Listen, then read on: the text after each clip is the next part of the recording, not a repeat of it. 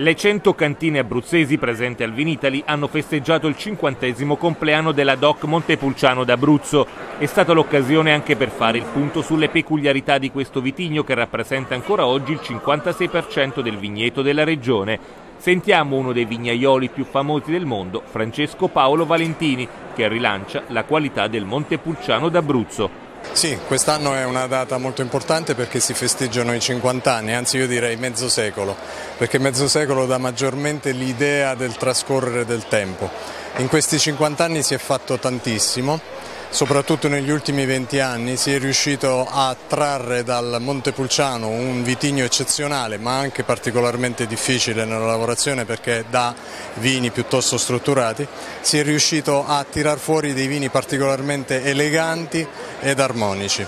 Quindi è anche un modo per festeggiare non solo i 50 anni ma un eh, importante risultato eh, raggiunto di strada ne è stata fatta tanta in 50 anni, un vino diciamo così da tavola invece sta diventando un vino davvero di qualità. Sì, sì, è quello che dicevo, purtroppo negli anni 50-60 il Montepulciano era considerato un vino da taglio, è una parola brutta che ho difficoltà a dirla, però era così.